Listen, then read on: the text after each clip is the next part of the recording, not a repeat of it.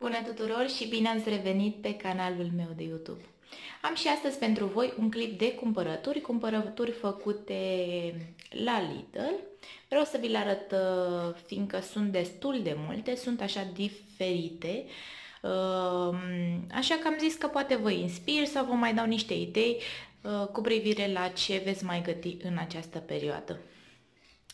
Haideți că o să încep de aici. Prețurile le veți vedea voi afișate pe ecran, le voi adăuga eu ulterior la editare.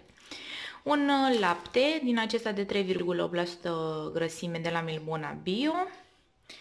Ouă, 10 ouă clasa M, astea le folosim mai mult pentru noi și am mai luat 10 ouă uh, bio um, pentru David. Eu am o doamnă care mi-aduce ouă de țară, dar în perioada aceasta nu ne vom găsi Uh, normal, suntem izolați în casă, așa că voi folosi din acestea. O pungă de paste pene rigate de la Combino de 500 de grame. Două croasante cu unt. Astea, dacă nu le-ați încercat, sunt excepționale. Chiar vă recomand să le încercați. Îmi imaginez că sunt pline de calorii, fiindcă au un gust pregnant de unt, dar odată la câteva luni, cel puțin, îmi permit eu să mănânc unul. De-abia aștept să-l mănânc în această dimineață la, la cafea. Voi, dacă nu aveți probleme cu greutatea, chiar vă recomand să-l încercați sau uh, să-mi ziceți dacă vă place. Un uh, humus, acesta este cu ardei, capia și măsline. Mm, nu arată foarte bine, nu l-am gustat, este un produs de post. Sunt curioasă dacă o să ne placă sau nu. De obicei ne place humusul, dar ăsta nu știu. Un parizer de pasăre de 500 de grame un salam secuiesc. Ăsta are 400 de grame.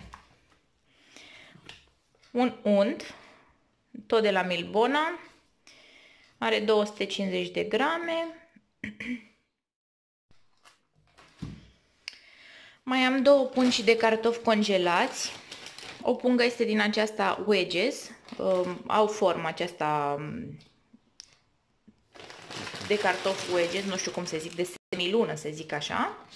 Are 750 de grame și încă o pungă de uh, cartofi uh, din aceștia așa, gen prăjiți, dar sunt uh, cu o formă mai, uh, mai diferită.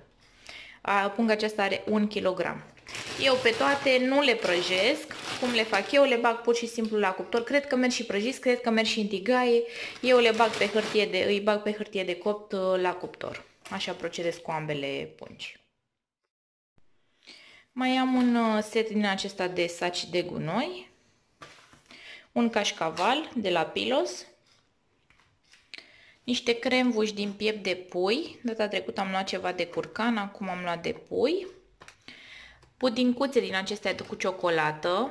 Le mâncăm la fel uh, destul de rar, dar ca și desert, să zic, um, mai, mai gustăm câte una din când în când.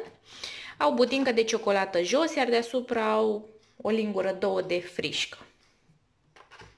Am luat patru. Chefirul acesta nu l-am mai încercat până acum, dar l-am văzut și în diferite clipuri și a fost uh, recomandat, așa că am zis să-l încercăm. Este de la Pilos, acesta este cu căpșuni și celălalt este cu piersică. Bidonașul are 400 de grame. Sunt tare curioasă să, să văd ce gusturi avea și dacă o să ne placă. Este pentru prima oară când îl cumpărăm. Iaurturi de la Milbona, din acestea bio cu 3,8% grăsime, de 150 de grame, am luat 6. Mozzarella, două punguțe din acesta de mozzarella în zer, are 125 de grame fiecare punguță. Frișcă lichidă sau nu pentru frișcă le-am luat, ci pentru smântână lichidă, Uh, de exemplu la sosuri, când mai fac sosuri de paste sau diferite sosuri din astea care merg cu smântână lichidă, eu folosesc și varianta aceasta. Am luat două smântână de la Pilos cu 20% grăsime, 4 păhăruțe, fiecare păhăruț de 150 de grame. Iar pentru prima oară am luat o un kilogram de iaurt grecesc.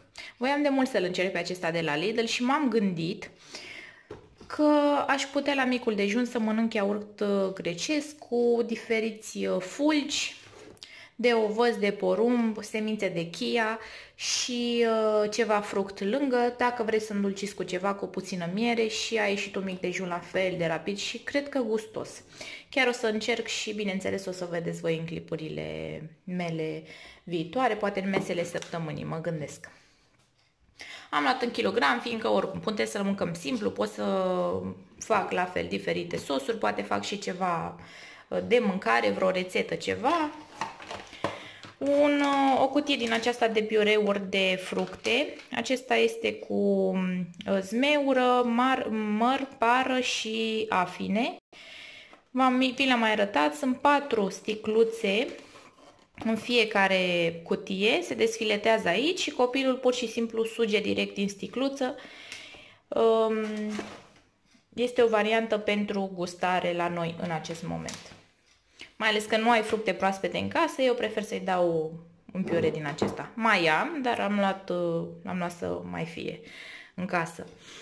Un, um, o sticlă din aceasta de roșii, sunt roșii uh, pasate, un fel de suc de roșii. Are 710 grame. Uh, l-am luat fiindcă vreau să fac ciorbiță, așa că am luat și un borș. Nu este borșul pe care îl folosesc eu în mod ocazional, dar n-am vrut să mai intru în alte magazine. L-am luat pe acesta și ne descurcăm.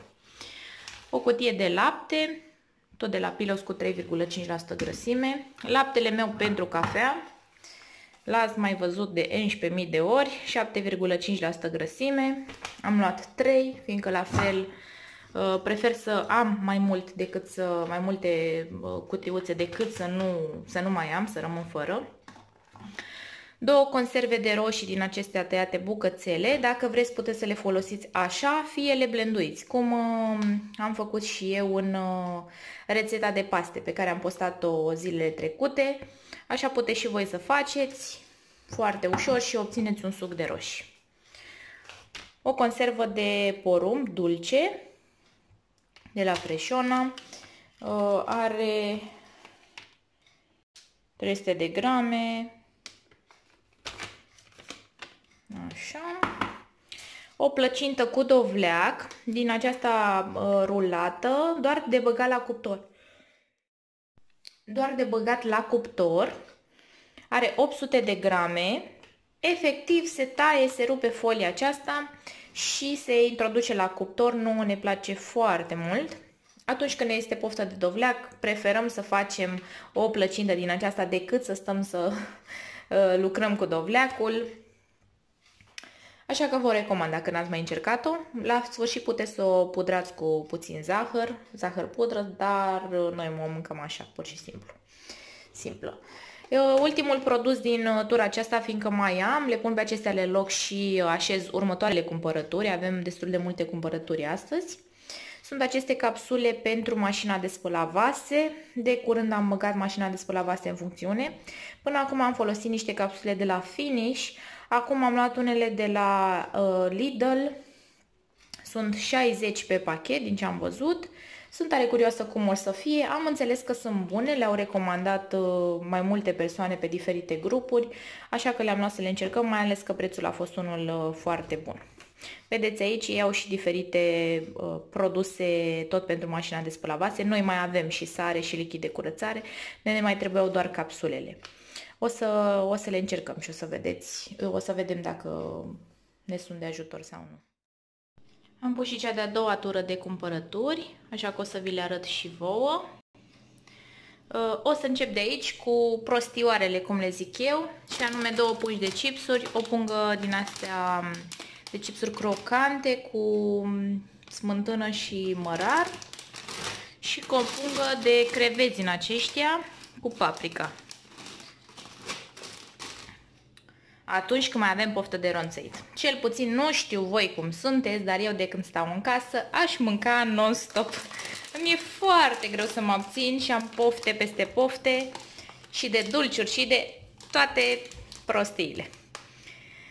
Uh, niște, un set din acesta de 400 de grame de mini prăjiturele, sunt ambalate individual, nu le-am mai cumpărat până acum, dar am mai mâncat de-a lungul timpului alte variante. Astea văd că sunt cu tiramisu, tiramisu cake, cred că sunt 8 sau 10 în set, nu știu exact, ia să vedem, scrie aici, nu.